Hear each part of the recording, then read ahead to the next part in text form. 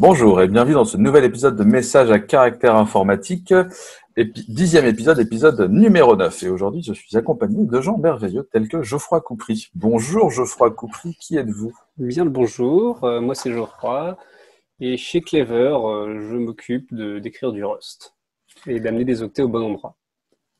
Merci, je suis aussi accompagné d'Hubert Sablonnière. Bonjour Hubert Sablonnière, qui êtes-vous? Bonjour, je suis Hubert Sablonnière.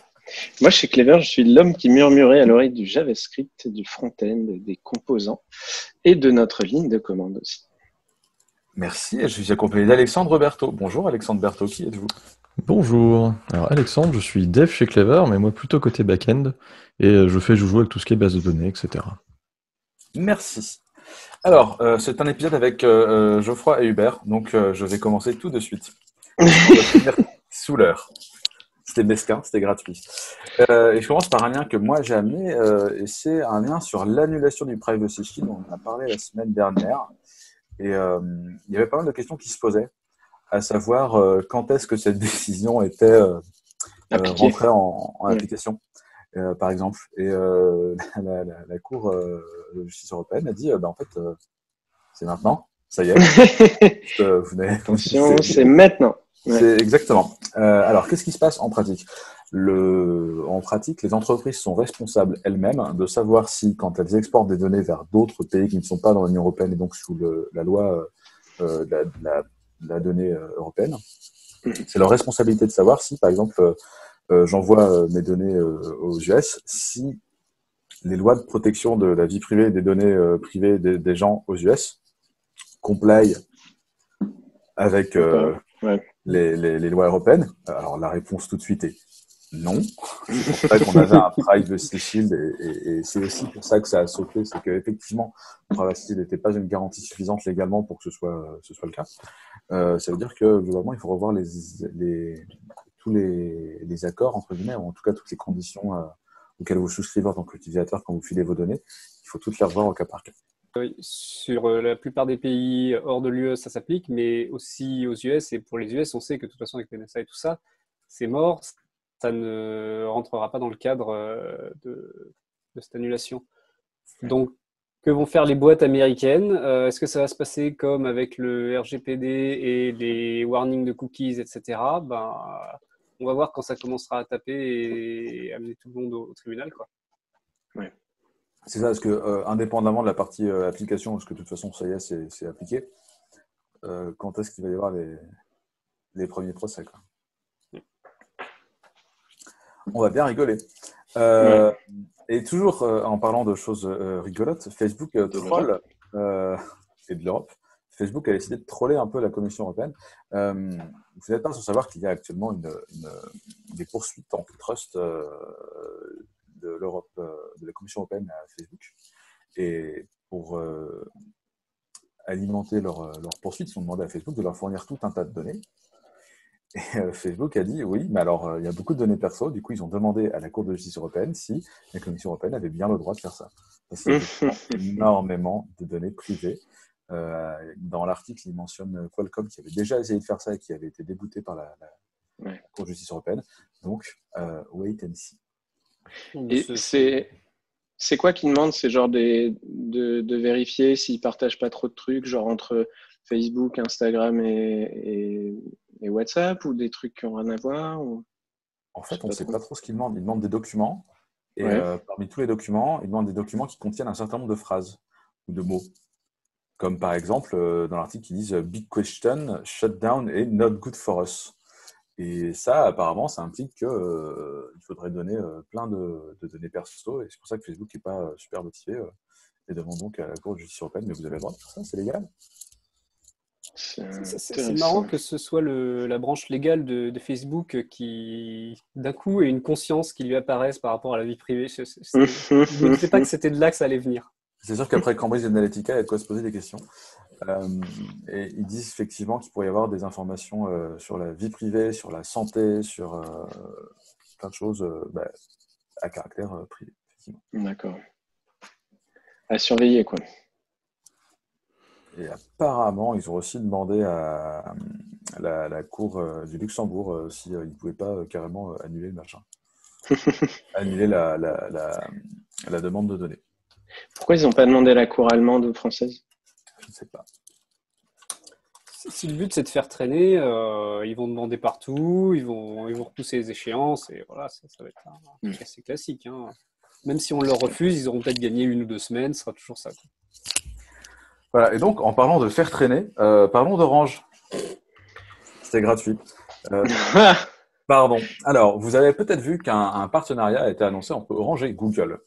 Euh, Orange, euh, euh, sacro-saint euh, fournisseur euh, français, euh, France, les grandes économies, tout ça, les grands acteurs de l'économie. Partenaire avec Google pour tout ce qui est IA, Edge et, et, je ne sais plus quoi. Alors, Edge, Edge Computing et Google, ils sont très bons à ça, tu vois, pas de souci. Et en même temps, Orange était déjà partenaire Huawei puisque c'était CloudWatt qui était opéré par Huawei de mémoire. Enfin, genre, Ah, euh, tu je je, a priori, euh, un certain nombre de services cloud euh, d'Orange sont partis en Chine. Fine. Le, j'ai mis deux liens. Non, c'est pas très souvent, effectivement. J'ai mis deux liens. J'ai mis le lien euh, sur le partenaire en tant que tel. Il y a un thread Twitter de Mathias Herbert, qui est le, le créateur de Warten, qui est une base de données qu'on utilise énormément chez, chez Clever Cloud, et qui est un, un- un mec super sympa et qui explique que lui, son problème, c'est pas tant avec euh, le partenariat en tant que tel, parce qu'encore une fois, Google, euh, c'est des gens très bien euh, côté techno et, et fine, tu vois, si tu as besoin de techno, Ouais, c'est ce qui est.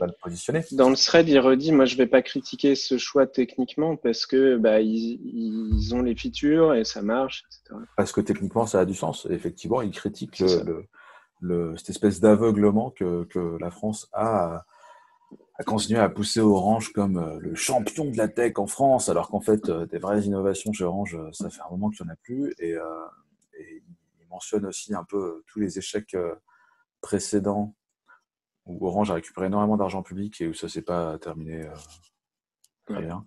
Je pense au projet Andromède, qui était donc le projet de cloud souverain qui a donné naissance à CloudWatt, qui, a- qui, est- qui, qui donc euh, moitié chinois maintenant. Hmm, On peut considérer qui, n'a jamais rien rapporté quoi, par rapport à l'investissement initial. C'était ridicule. C'est c'est ça, c'était pas un échec, ils ont reçu l'argent. C'est ça. De leur point de vue, ça a marché. Hein. Ça, et, et justement, Mathias critique plutôt ce côté. euh, euh, et c'est vrai que c'est un, un discours qui est pas mal tenu dans les articles. euh, J'ai essayé de prendre Reuters, qui est assez neutre, mais dans les articles français, où c'est euh, Orange, euh, champion de la tech euh, en France et tout. Et, Ouais. c'est vrai que c'est. bah, il y en a marre, quoi. Tout bêtement. Voilà, donc euh, euh, n'hésitez pas à jeter un œil sur le, le, le thread Twitter de Mathias et à suivre Mathias, il dit plein de choses intéressantes. ok. On passe au lien suivant, la suite de euh, UFO VPN, ou du VPN UFO dont on a parlé la semaine dernière, il y a 15 jours, je ne sais plus, qui était le VPN qui protège vos données privées, mais qui a eu un leak de données privées. C'était la semaine dernière, c'était Alexandre. Ouais, ça, c'est la semaine dernière. Euh, le problème qu'ils avaient eu, c'était des fuites de données d'une DB élastique qui était complètement ouverte. Et euh, dans cet article-là, on voit un petit peu la suite du truc, c'est qu'il y a une attaque qui s'appelle la Miao attaque, la Miao, la Miao attaque. Je Miao. vais pas faire un Miao anglais, c'est pas facile. Euh, en fait, c'est juste des gens qui ont recommencé ce qui s'est déjà fait il y a plusieurs années sur des Mongo et d'autres ES d'autres fois d'ailleurs. Juste euh, scanner le réseau à la recherche de DB ouvertes et, et remplacer les données par Miao du coup. Et, euh, Je et donc en fait, ça fait vraiment juste suite à ES, ça. c'est Elasticsearch. Oui, pardon. Enfin, euh, peut-être qu'il y en a qui. On sait jamais. c'est- c'est- Je t'ai coupé, pardon. Ah, moi, quand je dis PG, en général, on me regarde avec des grands yeux, et en fait, c'est PostgreSQL, tu vois, mais je, je Je comprends. vais faire Jean-Michel acronyme et je vais essayer de. Vas-y, reprends. Donc euh, voilà, c'est vraiment juste la suite de cette, euh, cette attaque-là. euh, juste des, plusieurs DB euh, ES et Mongo qui se sont fait euh, vider et, et remplacés par, euh, par juste Miao. Euh, un, un petit rappel qu'il faut pas euh, exposer sur Internet des DB sans aucune protection, c'est pas une très bonne idée. Bien que ce soit assez évident. Et ce qui est amusant, c'est le caractère. euh, ils mettent juste miaou, quoi. Ils demandent rien. Ouais, c'est tout. ouais. Oui, c'est ça, c'est vraiment juste pour de- faire chier. euh, ouais. C'est pour te donner une leçon, peut-être un peu. Pas- Ouais. En fait, ils ont corrigé le business du FO parce que bah, avant, c'était un truc qui prend pas de log et qui avait des logs ouverts à tous les vents. Ils sont arrivés, ils ont enlevé les logs. Hum. Très bien, hein, en fait. Ils, ils leur ont fait une fleur, je trouve, là-dessus quand même. hein. Problème réglé. Voilà. C'est clair. Je suis venu sur votre infra, j'ai réglé le problème et d'ailleurs j'ai mis à jour vos serveurs tant que j'étais là, voilà, pas de problème. Et ben justement, en parlant de mise à jour euh, euh, auquel on n'a pas forcément, euh, on n'a rien demandé à personne. En tout cas, Twilio n'avait pas demandé à qui que ce soit de mettre à jour un certain nombre de scripts JavaScript et ça leur est arrivé. Oui, alors en fait, chez Twilio, donc ils ont, c'est arrivé la semaine dernière, un truc comme ça, même pas. Ils ont eu un.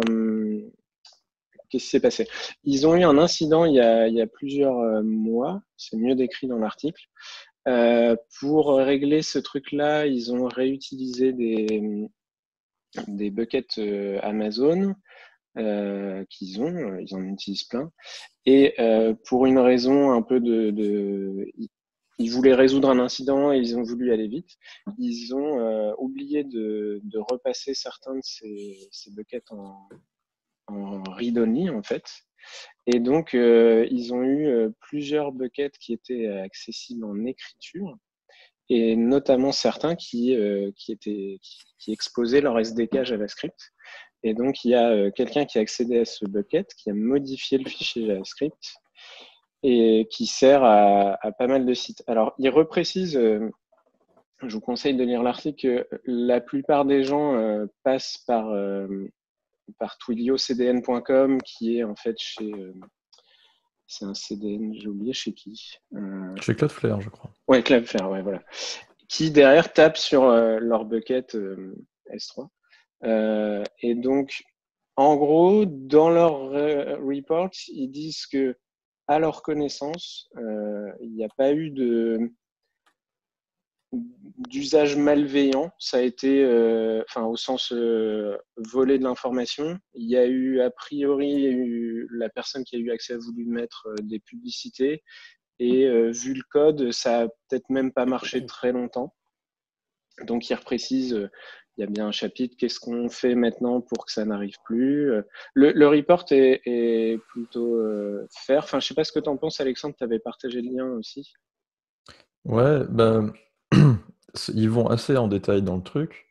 Euh, une petite précision quand même que tu n'as pas donnée. Tu dis que ça fait plusieurs mois. En fait, ça fait cinq ans.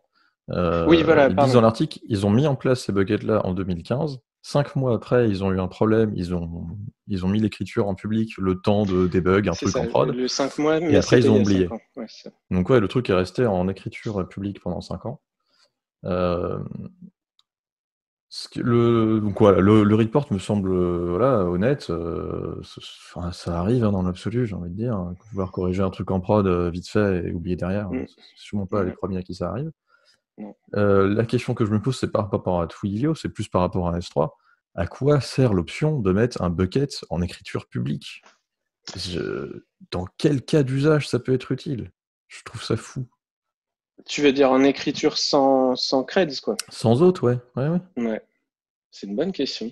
Je- J'ai vu euh, dans les commentaires de l'article posté sur, je sais plus si c'était sur Reddit ou ailleurs, euh, quelqu'un qui disait qu'il utilisait cette feature-là pour faire un bucket temporaire d'upload où après son app va chercher le fichier et le mettre ailleurs. Alors très bien, mais je pense qu'il n'a pas entendu parler des URL présignés. J'allais dire, euh, oui, ouais, il y a un En fait, y a la, feature est là pour ça, donc faut pas mettre de bucket Ouais. en écriture publique, ça n'a aucun sens. Enfin, moi, je vois pas de cas d'usage euh, utile. Et du coup, on en profite pour peut-être évoquer rapidement le, le concept de sub-resource integrity. Euh, donc, tout le problème, c'est que ce fichier JS est chargé via des CDN euh, dans plein de sites web. Et donc, à partir du moment où vous mettez euh, euh, cdn euh, slash sdk machin, ça charge un script qui vient de chez eux. Et si ce script est, troué, potentiellement, il peut faire des choses dans votre page. Là, a priori, ça n'a pas été le cas. Donc, il y a une fonctionnalité, peut-être que Geoffroy, tu, veux en parler, peut-être je sais pas, qui s'appelle Sub-Resource Integrity. En fait, le concept, c'est que quand on va importer un, un élément extérieur, donc un, un script JS euh, ou du CSS, en fait, dans la balise, on va pouvoir mettre un hash du fichier et indiquer aussi euh, des valeurs par rapport à l'origine, si c'est euh, du même domaine ou si d'ailleurs. Donc, ça veut dire que si le fichier a été modifié, eh ben le, ça ne se chargera pas dans la page. C'est ça.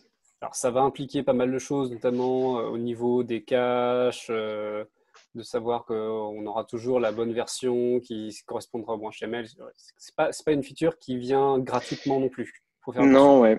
C'est un peu ce que moi j'en entends souvent, c'est que je crois qu'à une époque, quand on avait encore Google Analytics euh, quelque part chez nous, je voulais le mettre, sauf que le script Google Analytics il change de temps en temps. Euh, et, justement sur ce genre de script pour avoir des, des chats interactifs dans ton app, enfin tous ces scripts tiers qui viennent te fournir un peu de feature ou autre, euh, c'est rarement un truc qu'ils mettent en avant alors que tu aimerais bien pouvoir dire bah, euh, donnez-moi le, hash et ce hash là moi je lui fais confiance je vais faire auditer ce qu'il y a dans le script à mes équipes et si vous le changez euh, prévenez-moi mais au moins moi je le mets. Et donc ça existe mais je le vois pas forcément souvent utilisé dans la nature que ce soit côté fournisseur de services ou côté implémenteur. Ça s'est pas popularisé un peu à cause de à cause des grosses chaînes de build type Webpack et autres, où du coup, à la sortie de ton Webpack, tu peux dire euh, le, c'est comme ça que. bah, en fait, tu n'as pas forcément de besoin de le faire sur tes propres scripts à toi. Euh, le but, c'est plus de le faire sur les scripts tiers des partenaires euh, que tu intègres, par exemple un Twilio, un, un Analytics, quel qu'il soit. et donc, à ma connaissance, dans les chaînes de build, j'en connais pas trop.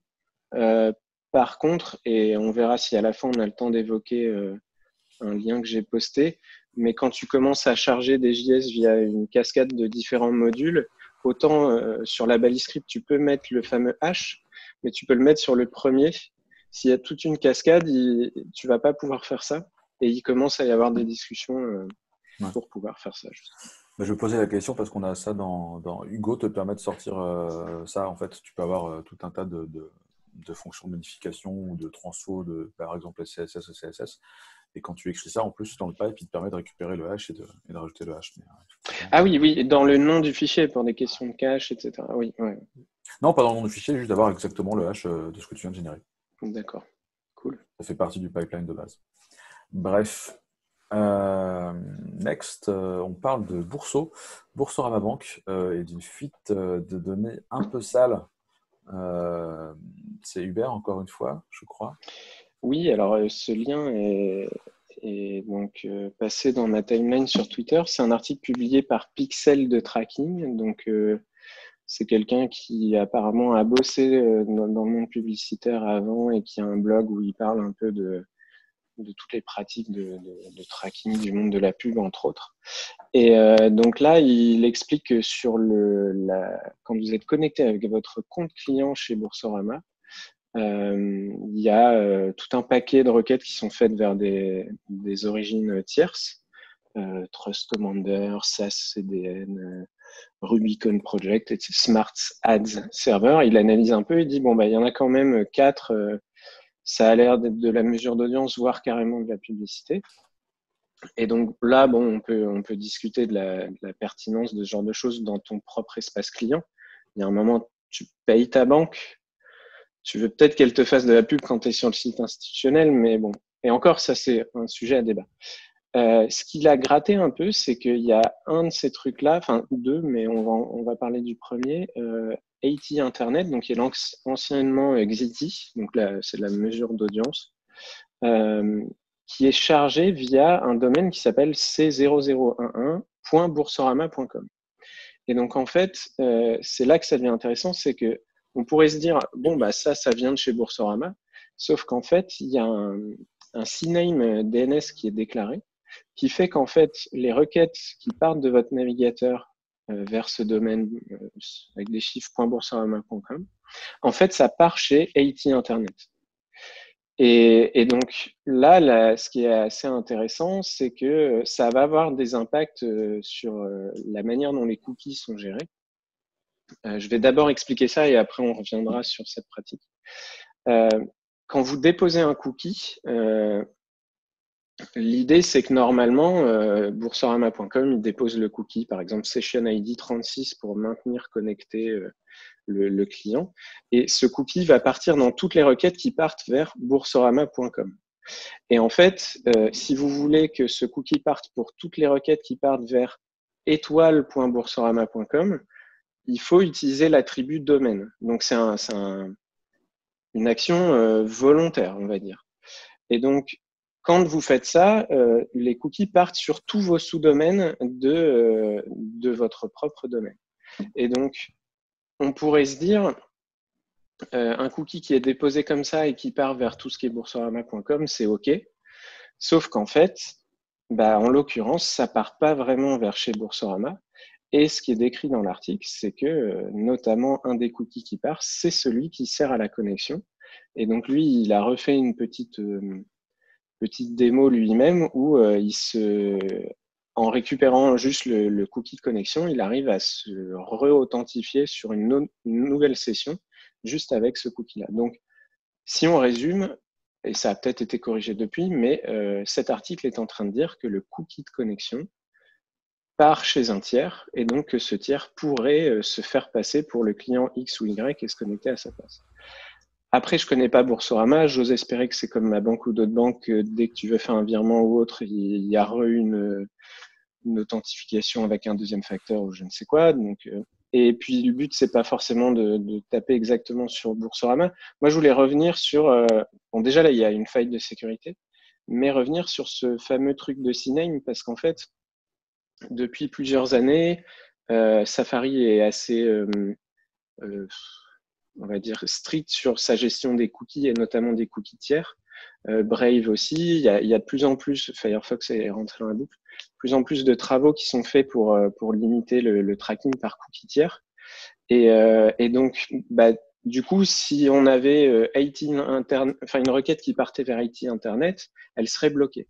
Et là, juste le fait que la requête parte vers un sous-domaine de Boursorama, il y a tout un paquet, notamment euh, chez Safari, de, gens qui détectent pas que c'est euh, un tiers en fait, tout simplement.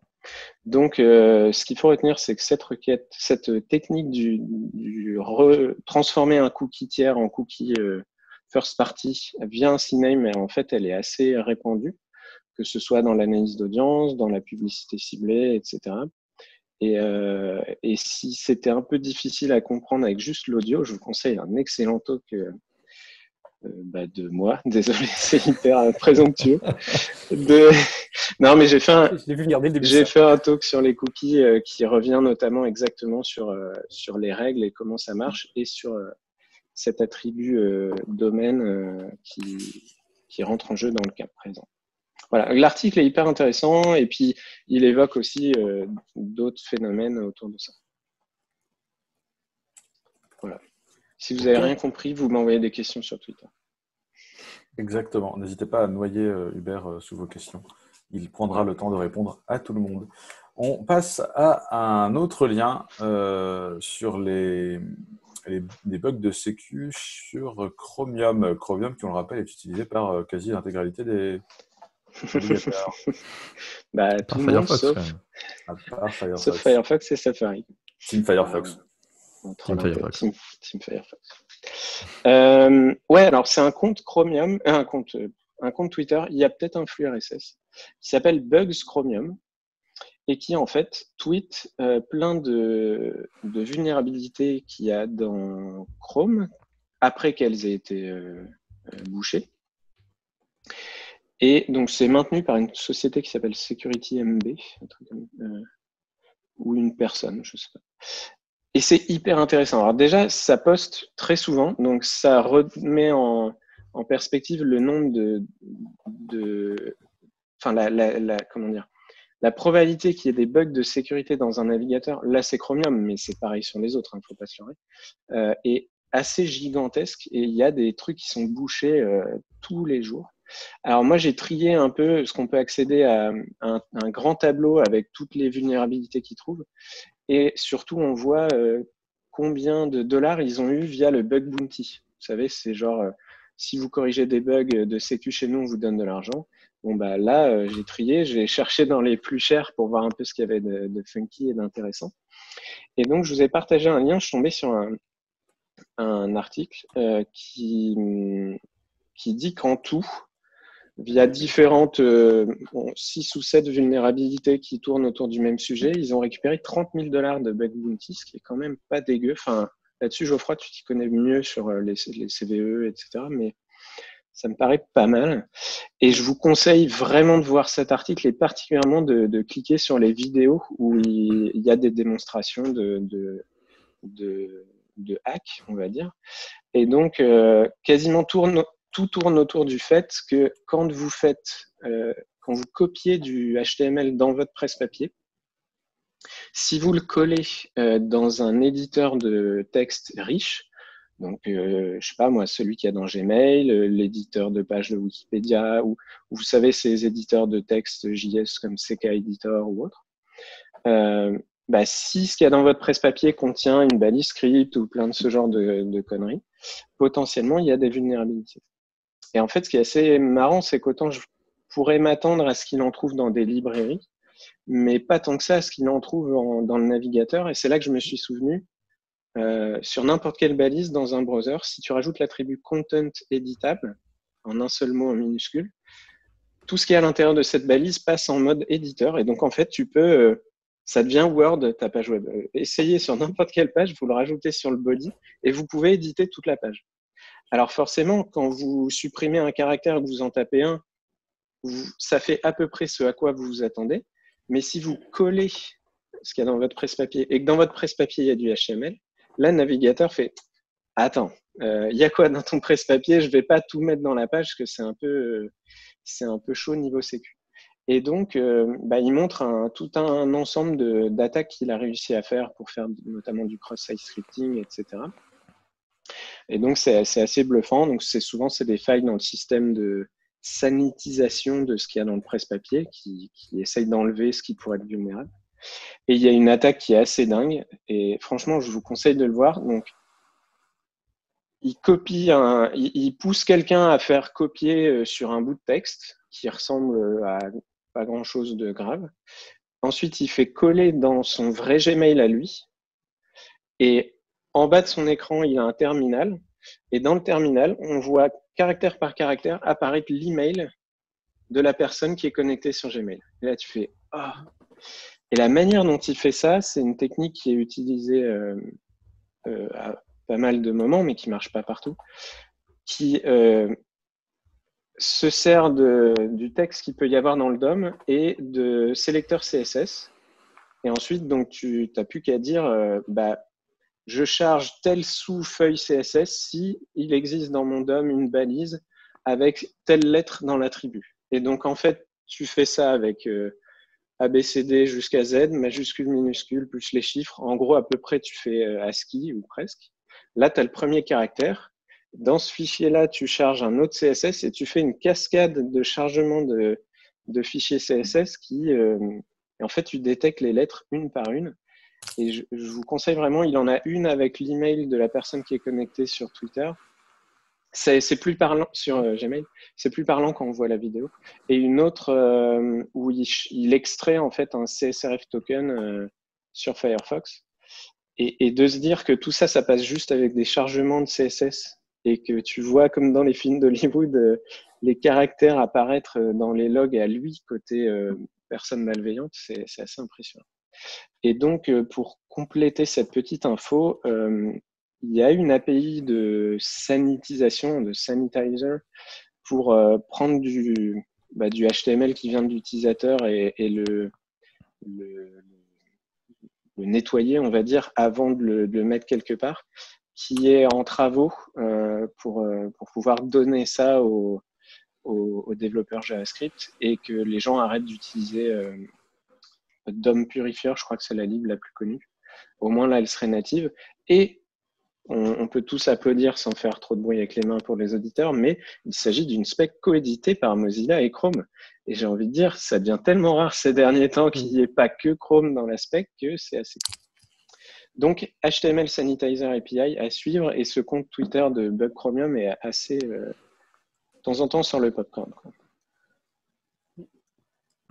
Je précise juste qu'il y a les mêmes bugs chez les concurrents. Hein. C'est juste que là, il y a un truc que je trouve intéressant sur l'approche qu'ils ont sur le sanitizer HTML, c'est que pendant longtemps, on a eu des problèmes de sanitisation HTML parce que les gens passaient des regex dessus et autres techniques assez moisies euh, en analysant le texte. Là, en fait, ça prend le HTML qui est reçu, ça le parse dans le DOM du navigateur et après, ça fait des requêtes sur ce DOM-là. C'est-à-dire qu'il y, y, a de moins en moins de différences sur le parsing HTML vers DOM entre les navigateurs, mais il y en a encore. Donc, si tu peux travailler directement sur le DOM et euh, vérifier que tu as bien les balises que tu veux, le CSS que tu, veux, etc., sur la représentation vraiment qui est utilisée par le navigateur, tu es beaucoup plus efficace. Donc ça, c'est intéressant. Carrément. Et pour les curieux, vous pouvez, aller voir dans les sources, euh, euh, parce que c'est open source de nos composants à nous. Et on a un petit système, par exemple, pour filtrer l'HTML qu'on autorise dans les traductions de nos composants.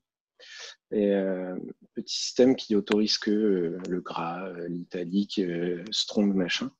Et pour les curieux, allez voir, c'est assez marrant comment on fait. Et si j'explique comment on fait, on va jamais finir l'épisode. Non, mais on mettra, on mettra le lien vers, le, vers, ça. Yes.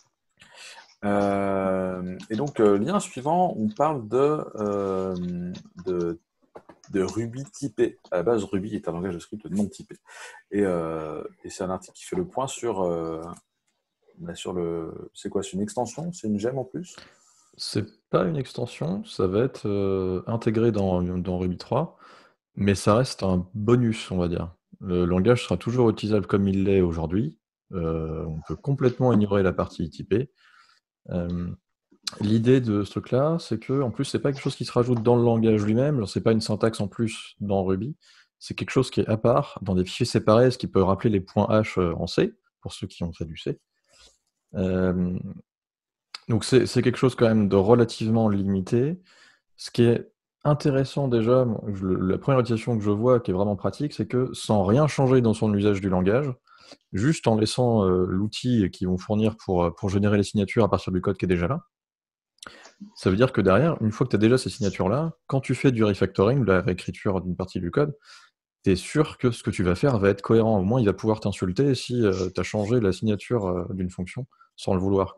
Donc déjà, rien que ça, sans, sans changer ta façon de travailler, c'est déjà vraiment un confort supplémentaire bien agréable. Quoi.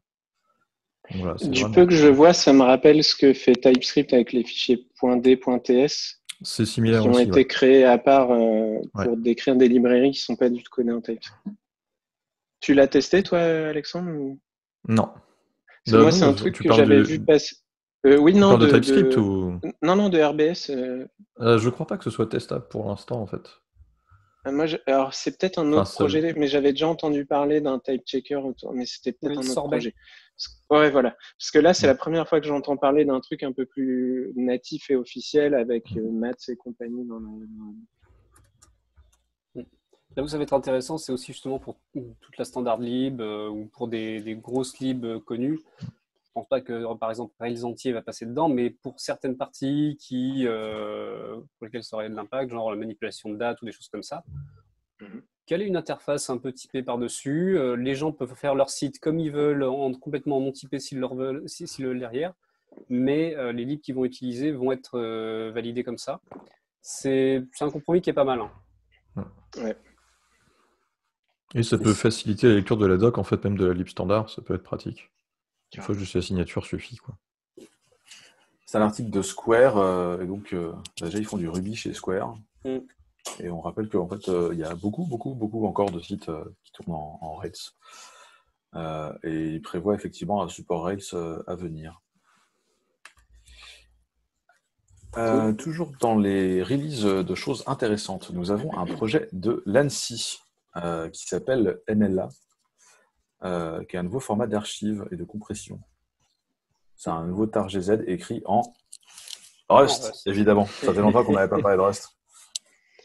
Annecy, Geoffroy, Rust. Ça va. j'ai regardé, je ne connais pas personnellement les devs du truc, ou euh, je ne fais pas le lien sur les pseudos, mais bon. Mais est-ce qu'ils euh, utilisent NOM Oui, bien sûr. ben, voilà. On rappelle que euh, l'ANSI, c'est l'Agence nationale de sécurité des systèmes d'information. Voilà. Et, ils font des recos régulièrement aussi, par ailleurs, sur ce que les, qu'il serait bon d'utiliser, à la fois d'un point de vue sécu et, et d'un point de vue sécu euh, faille d'un point de vue sécu, gouvernance, tout ça. Et ils ont aussi euh, conseillé d'utiliser Rust, et du coup, ils mettent ça, euh, ils l'emploient avec ce truc-là. Mais du coup, c'est quoi MLA, Geoffroy? Ben, C'est un format d'archive qui supporte la compression et le chiffrement. Mmh. alors pourquoi on n'utiliserait pas directement un tar GZ et Youplaboo, on chiffre ça avec, je sais pas, PGP ou autre idée marrante dans le genre? Ben, Parce que c'est pas hyper, hyper adapté. en fait, ce qu'ils voulaient, c'était un format d'archive qui peut être streamé. C'est-à-dire qu'on peut prendre un fichier, les concaténer, etc. Les fichiers d'archives comme ça, ça va marcher. On va pouvoir créer d'un côté sans reprocesser la donnée, créer, créer d'une traite. Il euh, faut que ça puisse être euh, SIC, c'est-à-dire qu'on puisse euh, aller d'un fichier à un autre ou même commencer à lire au milieu du fichier sans avoir à tout décompresser ou tout déchiffrer, ce qui est compliqué par exemple avec un tar-gz. Et il faut que ce soit, faut que ça puisse être réparé, c'est-à-dire s'il y a un chunk qui, qui, est pété, on devrait pouvoir isoler que c'est ce chunk-là qui pose problème et pouvoir quand même parser le reste. En fait, c'est les DRM. Ils sont en train de mettre des DRM dans des fichiers vidéo. bah, tu as un côté un peu comme ça. Hein. Si, si tu as un bout de ta vidéo qui est pété, tu peux quand même repartir plus tard parce que euh, tu as tes moyens. Et euh, ce qui est intéressant aussi, c'est qu'ils ont ajouté donc, du chiffrement avec euh, e donc, du classique, mais aussi par clé publique. C'est-à-dire qu'a priori, j'imagine que la, la, clé de chiffrement AES, derrière, euh, on, peut la chiffrer pour qu'elle ne, ne, puisse être récupérée que par quelqu'un qui a une clés privées euh, particulières. Alors, c'est des clés en ED 25519 avec l'algo ECIES. Si ça ne vous dit rien, c'est pas grave, mais c'est de chiffrement à clé publique, clé privée sur des courbes elliptiques. Donc, il y a pas mal de choses. C'est plutôt, c'est, plutôt intéressant en fait, parce qu'il n'y a, pas eu beaucoup d'innovation dans les formats d'archives comme ça récemment, pas, que, pas que j'ai vu, ou alors c'est que tout le monde continue d'utiliser tard. Euh, j'ai pas audité, j'ai pas regardé, euh, j'ai pas vu pour l'instant beaucoup de retours sur le sujet, mais c'est, c'est plutôt bien conçu dans, dans l'idée. Quoi. c'est, une... Oui. c'est une annonce, c'est assez nouveau ou ils l'utilisent déjà chez un peu euh? c'est, c'est assez nouveau. Euh, je sais pas s'ils ont des, indiquent qu'ils l'utilisent déjà en, en interne. Mais euh, c'est bien conçu, ils viennent avec leurs outils de fuzzing, et etc. Euh, ils ont leur spec, ils ont. Euh, c'est à la fois une lib et un exécutable qui peut processer derrière. Mhm. Donc, non, c'est assez cohérent comme taf, hein, je trouve. Cool. Voilà. Et en plus, c'est bien documenté, tu as un peu toutes les explications de comment ça marche, comment ça fonctionne dans le README directement du, du projet. Si vous êtes curieux, vous pouvez aller voir il y a des schémas en ASCII et tout. c'est cool. C'est du Brotli. Oui. Ok. Euh, autre lien, euh, on, va euh, descendre et aller encore plus, descendre dans les couches, aller encore plus bas niveau. là, on va causer kernel. On va causer kernel et threading. je ne sais pas si vous vous rappelez, il y a quelques temps, on avait parlé de, de Green Thread sur ce podcast. Et là, c'est un sujet un peu différent. Ou euh, bah, vas-y Geoffroy, je, je te laisse, t'expliqueras ça beaucoup mieux que moi. Ouais, donc euh, on a les, OS qui nous fournissent un système de threading déjà. Où, ce qu'on peut faire, c'est dans notre app, on crée un thread et puis euh, ça s'exécute dessus et puis ça peut causer entre threads, etc. Mais c'est géré par l'OS. On a plusieurs fils de discussion qui sont soit sur un même corps, soit sur des corps différents. Le problème, c'est qu'avoir plusieurs threads à gérer, si on, si on veut avoir plusieurs milliers, plusieurs dizaines de milliers de tâches qui s'exécutent en même temps, dans une application, ben, ça commence à être coûteux en nombre de threads, mais aussi en contexte switch, c'est-à-dire quand on stoppe un thread et qu'on passe à un autre. Donc, il y a pas mal de langages, de, plateformes web notamment, qui sont allés à du threading euh, type green thread, c'est-à-dire qu'on a un thread OS sur lequel en fait on va émuler plein plein plein de petites tâches euh, pour lesquels on switch de l'une à l'autre. Donc c'est par exemple les Go routines en Go, ou euh, c'est ce qu'on fait souvent avec des futures en Rust, euh, c'est la sync en JS et toutes ces choses-là. Donc c'est pas mal, mais du coup, si on veut quand même profiter de plusieurs threads OS et faire du multithreading, du multicore, bah, on va devoir commencer à scheduler de qui s'exécute sur quel thread, etc. Et ça complique vite les choses. Et c'est là où les, bah, c'est des gens de chez Google notamment qui ont bossé sur, ça. Ils se sont dit, bah, est-ce qu'on ne pourrait pas avoir du support en fait dans le kernel pour euh, des, threads légers qui sont gérés par le, côté userland, par le côté application? Ils se sont rendus compte d'un truc, c'est que le switch entre mode user et mode kernel est finalement pas si coûteux. Dans, leur benchmark, ils arrivaient à 50 nanosecondes pour passer de l'un à l'autre. C'est voilà, 50 nanosecondes, c'est pas grand chose. Par contre, ce qui était extrêmement coûteux, c'était d'aller de stopper un thread et d'en lancer un autre. là où ça coûtait d'entre 2 et 3 microsecondes, parce que la décision de quel thread s'exécute à quel moment dépend du scheduler euh, kernel qui lui est quand même beaucoup plus complexe et va se baser sur des signaux qui sont pas très très pas très fins du style euh, il y a tel thread qui s'exécute mais en fait euh, il attend un mutex qui a été je sais pas trigger à un autre endroit du code.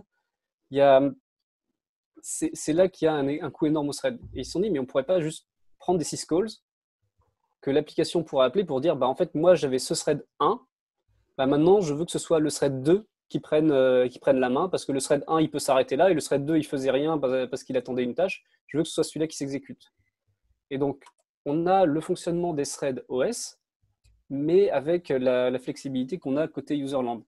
Ce qui permet de switch de l'un à l'autre très, très, très rapidement, mais de profiter quand même derrière de tout l'outillage qu'on avait pour la gestion des threads, euh, parce que ce sont des threads kernel normaux. Donc on peut utiliser Nice, on peut euh, les voir comme on a dans, les, dans débuggers comme d'habitude. Il y a pas mal de choses intéressantes à faire avec ça. Et c'est beaucoup moins coûteux effectivement que les contextes switch de thread normaux. Donc tu as un peu euh, essayé de trouver le meilleur des deux mondes. Quoi. Mm. Ah, c'est surtout que ça va fournir euh, à des, au langage, bah, à la JVM, à, différents serveurs web, un moyen de, de, gérer plein de tâches en même temps sur plein de threads mais de gérer de manière plus fine le, scheduling. Parce qu'avant, c'était euh, soit c'est l'OS qui gère tout et puis on a la main sur rien, soit c'est l'app qui fait tout dans son coin et, euh, le kernel essaie vaguement de comprendre ce qui se passe. Là, il y a une coopération entre les deux, donc c'est quelque chose de très intéressant. Cool. J'imagine que tu as des threads qui sont en train de gérer l'UI et au moment où ça fait un, switch, euh, bah, ça rame. ouais, bah, oui, on, avait, on avait ça sur euh, Windows 95 principalement. On avait tout qui était sur un CPU et la UI était gérée sur le CPU aussi et le rendering aussi. Et, heureusement qu'on a pu ça maintenant. Quoi. Non, maintenant, quand tu ouvres 5 onglets Slack, tu retrouves. C'est gratuit, monsieur Sablonnière. C'est ce que ça m'est arrivé hier. Bref. Euh, on va passer au lien suivant et c'est une transcription d'une discussion sur les FPGA. Euh, qu'est-ce que ça veut dire, Geoffroy Coupry, FPGA Alors, euh, FPGA, ça veut dire, ça veut dire Field Programmable Gate Array. Voilà. Et on compare ça avec les ASIC. Et ASIC, je ne sais même plus ce que ça veut dire. bref, un ASIC, c'est globalement un, en très très gros, c'est un CPU, c'est-à-dire c'est une puce qui a été faite pour faire une tâche et elle fait cette tâche-là. Un FPGA, c'est un truc un tout petit peu plus haut niveau où en fait on peut reprogrammer le routage entre les transistors pour que ça fasse des tâches différentes. C'est-à-dire que vous mettez, mettez, un routage dessus et le truc, ça va être un processeur, un processeur RISC-V par exemple. Ou euh, vous mettez à jour et maintenant ça va être un processeur ARM. Ou euh, tout d'un coup, c'est un GPU. Vous pouvez, ou encore même, vous en faites un truc qui va miner du Bitcoin ou je ne sais pas quoi. En c'est euh, Application Specific Integrated Circuit. Voilà. Comme FPGA, euh, savoir ce que ça veut dire, ça nous fait une belle jambe. Il y en a un qui est programmable et pas l'autre. Il y en a un qui est spécifique et l'autre, tu peux le programmer. C'est ça la euh, différence majeure. C'est ça. Et donc, c'est quelque chose de, très séduisant, hein, le, concept d'un processeur qui peut se reprogrammer. Et là, il y avait une discussion entre des gens qui, qui bossent dans ce domaine-là et qui font un peu un point de pourquoi on fait ça, où on en est. Alors, le transcript, ça se voit que ça troll beaucoup, hein, que c'est des gens qui, qui ont un peu d'amertume sur un paquet de trucs. Ils ont l'air un peu vexés quand même globalement, les mecs qui font des FPGA. Ils ont un peu le seum. Parce qu'en en fait, ça, se place entre ceux qui font des, processeurs, des ASIC, euh, où on fait une puce et puis on la vend, et puis c'est le truc le plus rapide. Par contre, une fois que c'est fait, c'est fait. Il hein, faut, refaire un modèle entier si tu veux euh, changer quoi que ce soit. Et les gens qui font du software, euh, où euh, bah, si tu veux changer un truc, tu le changes, tu, tu, tu uploads ton code, tu t'en fiches, ça ne pose pas de problème. Et eux, trouver leur place là-dedans entre les deux, c'est pas, c'est pas très très simple. Et, euh, mais il y a des, aspects où c'est intéressant. Par exemple, ils parlaient dans, les industries minières où des fois ils ont des simulations à faire. Et leur, leur, anecdote, c'est que le temps de faire tourner la simulation sur un CPU normal ou un GPU était beaucoup plus élevé que bah, aller carrément faire le trou et voir comment ça se passe directement. et donc, le concept de, de, faire le processeur à la volée qui peut, être, qui peut effectuer ce calcul-là, c'est pas mal dans ce genre de cas. On peut imaginer ça aussi pour, les, pour tout ce qui est machine learning, ce genre de choses aussi. Il y avait aussi un côté intéressant sur le, time to market, notamment dans, dans les télécoms. C'est-à-dire que si on vend un, bout de puce qui va être utilisé dans un gros routeur et euh, le routeur va être utilisé pendant 5 à 10 ans, si on veut pouvoir mettre à jour quelque chose dans du code qui doit s'exécuter extrêmement rapidement d'un point de vue réseau, c'est-à-dire qui, doit s'exécuter dans la puce directement, le FPGA est intéressant.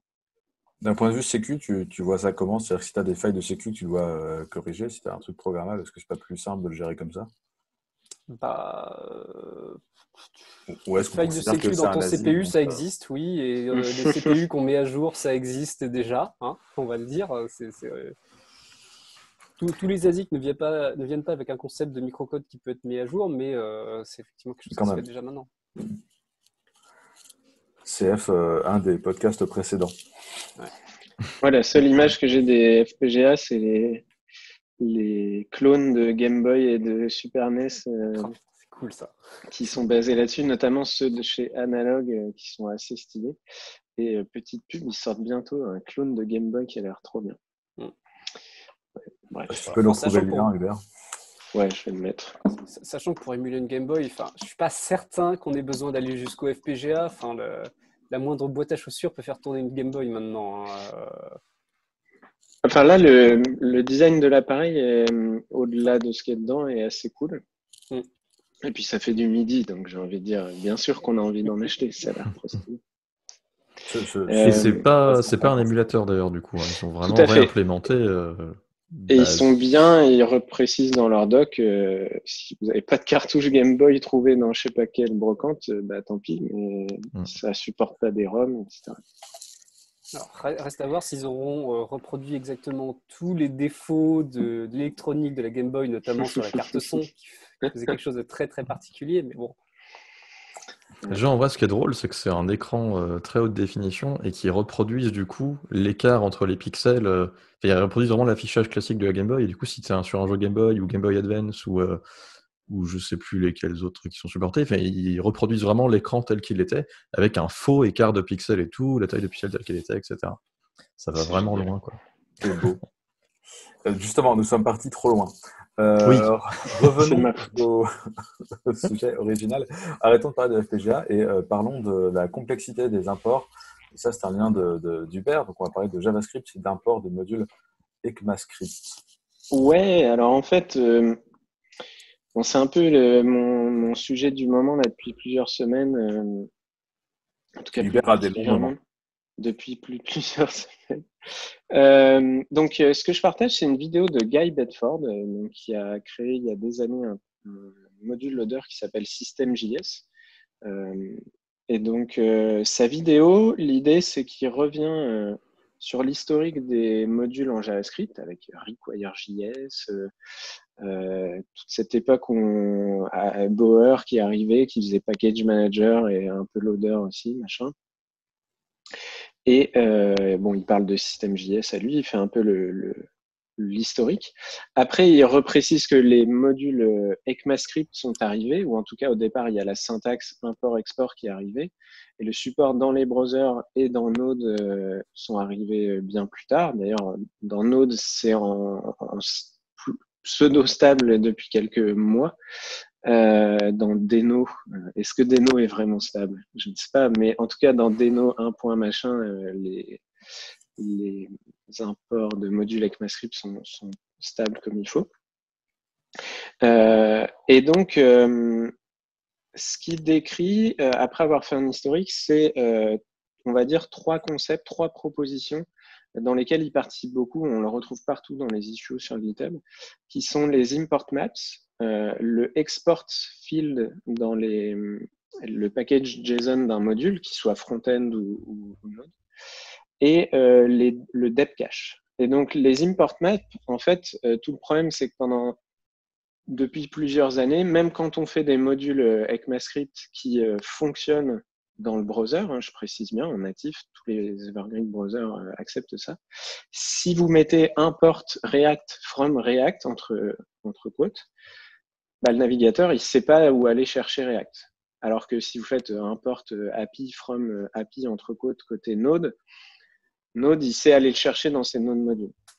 Et donc ça, ça s'appelle, en général, quand vous importez depuis une string avec juste un nom, c'est ce qu'on appelle un bare import, un import euh, euh, à, nu. Enfin, euh, ouais. et donc le concept d'import maps, l'idée c'est de dire via, je crois que c'est une sorte de JSON, vous allez préciser au navigateur où aller chercher différents imports via leur petit nom. Donc ça, à la base, on se dit, ouais, c'est pas très utile. Moi, de toute façon, je mets un port React dans mon code et j'ai Webpack ou Parcel ou Rollup qui réécrit ça et puis ça marche. Sauf qu'en fait, maintenant qu'on a des modules qui se chargent euh, nativement dans le navigateur, ça devient intéressant. Et le fait d'avoir un, niveau d'indirection entre euh, j'ai dit que je voulais React et quel fichier ça va vraiment chercher, eh bien, euh, ça amène pas mal de fonctionnalités. Et donc, sur la fin, il a des démos. Donc, il fait une démo avec Preact, par exemple, où il peut aller choisir euh, le build de, prod, le build de, dev avec les, tous les messages d'erreur. Euh, il, peut vraiment aller choisir quelle, quelle implémentation ça va marcher. Et en fait, moi, je vous conseille vraiment de vous intéresser à ça. Par exemple, nous, on a un, chez Clever, on a un client JavaScript pour notre API REST qui est, écrit, euh, qui est utilisé par notre front-end côté navigateur et par notre CLI côté Node.js. Eh bien, pour l'instant, on package deux versions avec deux systèmes de modules. Et euh, les import maps, typiquement, ça vous permettrait de ne plus vous soucier de est-ce que je dois importer Clever Client slash browser ou Clever Client slash Node? Non, il n'y a plus tout ça. C'est euh, via l'import map, voir c'est un peu automatique pour ce, ce cas de switching browser versus Node, euh, ça vous permet de gérer ce genre de choses. Ça permet aussi, en tout cas dans, dans les specs qui commencent à y avoir, de gérer ce qu'on décrivait tout à l'heure avec les SRI, les Sub-Resource Integrity. Si vous chargez Preact et, ou React et qu'en dessous il charge React Foo et React Bar, bah là, ça vous permettrait dans l'import map, dès le départ, de dire bah, je sais que tu vas charger à peu près tout cet arbre de sous-dépendance de modules JavaScript, et voici les haches de chaque sous-dépendance. Voilà, donc ça c'est la partie un peu import map et ça permet euh, pas mal de choses assez, assez cool, comme je viens de le dire. Euh, il faut aussi une démo du exports field qui est en. Alors les import maps, je précise, c'est en unstable flag dans Chrome c'est aussi derrière un flag dans Deno et dans Node, je ne sais plus, j'ai un doute. Mais ça, ça discute, c'est pas encore là, mais ça discute. Le export field, l'idée c'est que si vous créez un module JavaScript et que vous le déployez sur NPM, euh, vous allez pouvoir préciser ce que votre module exporte. Donc, si vous travaillez sur jQuery, c'est assez simple parce que vous allez exporter un seul fichier avec juste jQuery. Par contre, si vous travaillez sur Lodash, qui contient par exemple plein de fonctions, euh, Lodash Map, Lodash euh, euh, Sort By ou je sais pas quoi, ce, ce, que font actuellement les gens, c'est qu'ils mettent en ligne sur NPM un, module avec tout et proposent aux gens d'aller importer Lodash slash et puis le, le, fichier avec juste la, la fonction dont vous avez besoin. Et en fait, le export field va vous permettre, vous, en tant qu'auteur de librairie, de préciser dès le départ quels fichiers sont vraiment utiles à, être euh, importés par les utilisateurs. Donc, bah, autocomplétion dans les IDE au lieu d'aller piocher un fichier dans le module. Euh, et puis, euh, bah, pas mal d'outils de build vont pouvoir commencer à se servir de ça. Et même si bah, par exemple, le Dash est publié euh, en un seul fichier sur NPM, vous allez pouvoir dire, euh, euh, en tout cas avec JSPM, c'est possible, vous allez pouvoir dire, je veux installer Lodash sort by, et ça va juste récupérer ce truc. Donc, c'est que des brouillons pour l'instant, ça bouge pas mal en ce moment, mais c'est vraiment intéressant. Ce que je trouve assez cool, c'est que dans une des dernières démos, il revient sur le fameux problème que quand vous commencez à utiliser des modules ECMAScript natifs dans le browser et qu'il y a tout un arbre de sous-dépendance, via HTTP1 et même avec HTTP2, vous allez commencer à avoir bah, l'arbre qui se charge en waterfall, par escalier. la première dépendance, le deuxième niveau de sous-dépendance, etc. Et donc, il revient sur le fait qu'HTTP2 push ne résout pas le problème. Euh, et ça, c'est un, truc sur lequel on reviendra nous chez Clever, parce qu'on fait aussi des analyses là-dessus. Euh, par contre, il fait des démos un peu avec tout ce qui est preload, qui est dispo dans Chrome, bientôt dans Firefox. Il fait des démos avec d'autres techniques euh, et il propose un système qu'il appelle la dep cache et qui permettrait aussi, dans votre package JSON, de préciser dès le départ quelles sont les sous-dépendances qu'il faudrait précharger. Et euh, donc c'est pareil, c'est une autre proposition à standardiser qu'il fait. Et franchement, en 25 minutes, vous avez ce que je viens de dire, euh, historique, ces trois nouveautés avec les explications et, la démo. Et je trouve ça assez cool. je, cite un dernier exemple. Nous, on publie nos composants web Clever en un seul module NPM. Si vous voulez euh, faire npm install Clever Components et utiliser que le button, actuellement, vous devez savoir qu'il euh, est dans slash dist slash button.js, machin, c'est un peu chiant. Là, euh, avec le export, on va pouvoir proprement le faire. Puis ça évite un truc que font beaucoup de gens de plus en plus, à savoir de créer un, un paquet NPM pour chaque sous-dépendance, ce que je trouve très fastidieux, mais qui actuellement a encore des avantages. Voilà. Je peux en parler encore longtemps. on, garde ça pour, euh, pour euh, ta prochaine euh, voilà, ouais. Mais regardez cette vidéo. Je, voilà, c'est l'heure. Il est l'heure du lancer de dés. je suis de 1 à 5, Geoffroy Couplou de 6 à 10, Hubert de 11 à 15 et Alex de 16 à 20. Ce jeu est truqué. 19. Ah, c'est moi. Je suis jamais choisi. Alors dis-moi, qu'est-ce que c'est? Non, c'est pas. Alors, il faut que je m'en souvienne, comme je disais tout à l'heure, du coup, c'est un, c'est un lien que j'ai au départ choisi il y a de nombreuses semaines. Il euh, faut préciser, Alexandre est comme moi, il, garde le même tant qu'il n'est pas choisi. C'est ça, en fait. La première fois que je suis choisi, c'était ta musique. C'est vrai. Et, donc, euh, c'est une, c'est une musique qui croise un peu un côté euh, hip-hop et jazz à la fois. J'ai trouvé le mélange vraiment cool. Euh, c'est loin d'être les seuls à faire ça d'ailleurs, mais c'est vraiment un mélange de genres qui me plaît beaucoup et celle-là est vraiment très très agréable. Cool. Et il y a d'autres morceaux de ce groupe qui sont cool? Euh, J'en ai pas écouté d'autres de ce groupe-là. Par contre, sur Spotify, il y a une playlist euh, jazz rap qui est vraiment cool. Je ne suis pas un grand écouteur de rap généralement, mais franchement, les deux mélangés donnent des trucs vraiment très sympas. Cool.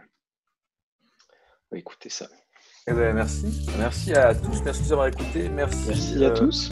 Geoffroy, Hubert et Alex. Et on vous dit à la merci, Laurent. prochaine. À la semaine prochaine. Bye bye.